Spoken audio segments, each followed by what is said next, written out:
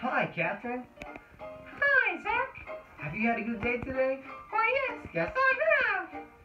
I was just thinking about how fast the semester's gone by. You know, December will be here in just a few more weeks.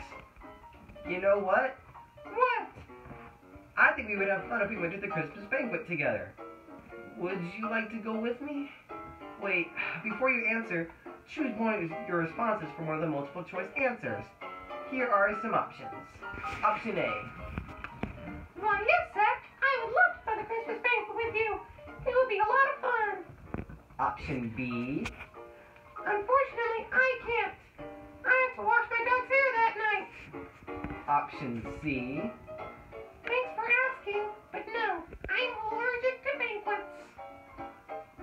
Option D.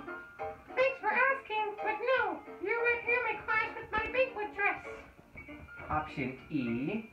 Absolutely no, ever, never, ever, ever in a billion years, no.